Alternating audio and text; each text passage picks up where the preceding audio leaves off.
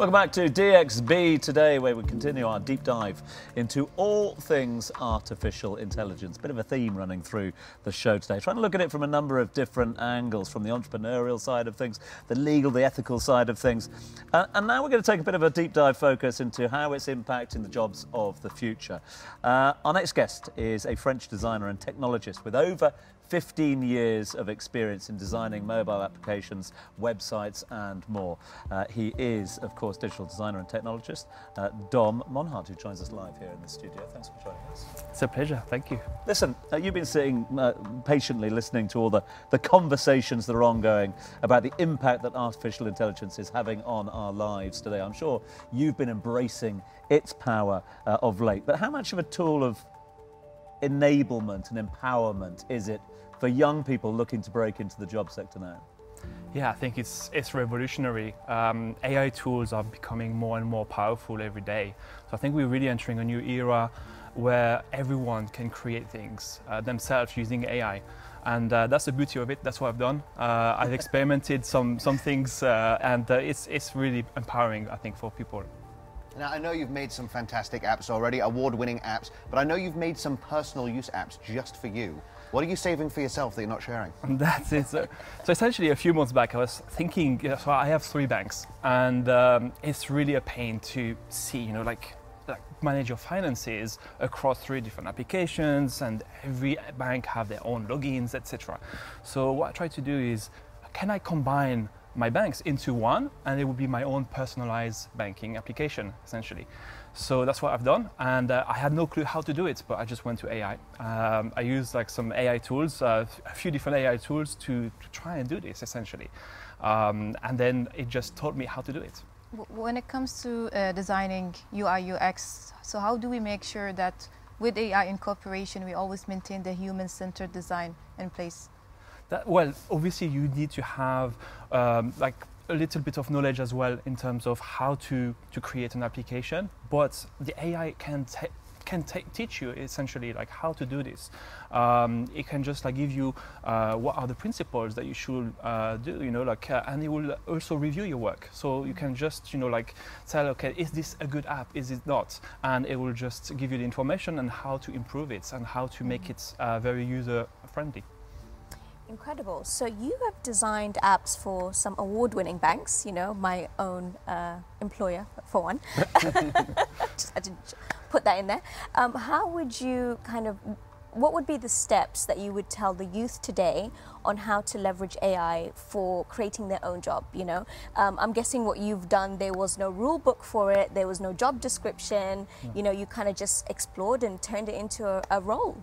Yeah, exactly. I think what like people should do and the youth is just to try and like make things like like simple, like just like take one step at a time. You know, we don't need to create the next like Google application today. You know, like we just need to like have an idea, have a concept. Like for me, like I just wanted to try and combine my banks um, and taking like you know starting from there you can just uh, ask the AI how to do it like step by step and just do some small uh, small task one at a time.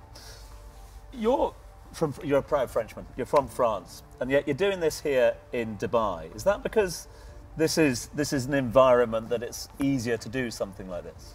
Yeah, definitely. I mean, Dubai is, is the hub of creativity, a hub of uh, tech, and, uh, and I think it definitely makes it easier, you know, to be surrounded by other creative people, other like tech people, and to always like see, you know, like very cool things out there. So uh, it's definitely a good motivation, I would say, like to be here and to create here. And I think anyone can can now create things uh, even easier uh, with just like some of these AI tools. Dom, as somebody who has been a designer, been making these apps before artificial intelligence was a big thing, and you started using it, adopting it, are you slightly concerned, or do you see that there's a chance that these young people that we're talking about could have very little skill, very little, little ability, but because AI doesn't have property rights, as we discussed with Dunya, anyone can just come, tell an AI to do something, and basically steal your work that you've been working on a long time? Yeah, it's possible to, to steal definitely. So I think there's definitely some ethics that should be there. Uh, but I think it's fine. Like uh, I see the opportunities, and I see like you know like I just want to see more people trying to create things. And I think the more we see like products coming to life, uh, and like people just being motivated and learning also, because like, like I said before, uh, AI can review your work as well and can tell you, guide you, you know how to do things in in a better way. Well, Dom, thank you very much for joining us on DXB today. Thank you. Thanks. Thank you. Next up, we have a company that's helping to shape the future of the AI economy by connecting top talent with world class companies. Let's take a look.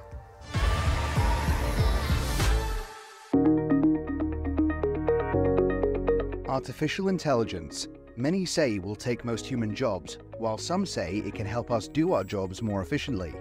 Both can be true. AI can compose songs, write articles, run warehouses, and even write code. But there are also areas where AI can help us. One area is job application. Islam Ashatnawi is the CEO of iApply Global, which applies for jobs on behalf of job seekers. We are using now AI in hiring. Always people say AI will take jobs. Now we are using AI to hire people. Transformed such a new idea about that how how a job seeker goes and fill his CV, choose the country, and the AI go and search for the vacancy. Not only this, and apply on his behalf. The AI powered job application platform is only one example of how AI can make our lives easier. It also has a wealth of data on where job seekers hope to find new positions. We've hired people in Colombia and Venezuela, but if you want uh, uh, as a st- uh, statistics about where the people are choosing, UAE is, is one of the top three. There are countless applications of artificial intelligence these days. The best thing to do would be to enjoy its benefits, but be cautious of the harm it can do.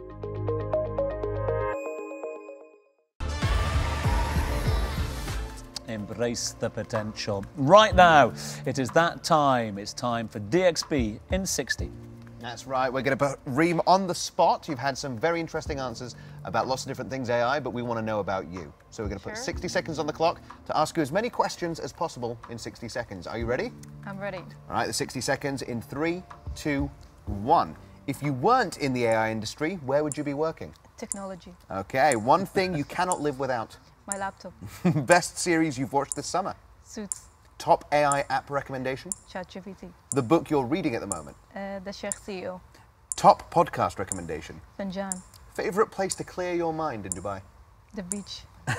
Most interesting person that you've met in the city. Uh, myself. Yourself. top restaurant recommendation. Italy. Uh, top weekend activity. Um, The beach. jogging. Talking. If you could hang out with anybody for 24 hours, who would it be? My best friend. Who's your best friend? Abdul Mateen. Uh, your muse or your motivation? My motivation is the people around me. They give me the energy. And where is your favorite place to have lunch in the UAE? To have lunch at my grandma's house. And if you have somebody visiting Dubai for the first time, where is the first place they should go? The Museum of the Future. All right, amazing. Reem, at the end of that, I think we got to know you very, very well indeed. Thank you. Amazing, Reem. Well, thank you for being our motivation and representing Emirati women in such a special way. Thank you for joining us. Appreciate it. Pleasure to be here. Now, after the break, it's Jay Abbo live in the studio. Don't go anywhere.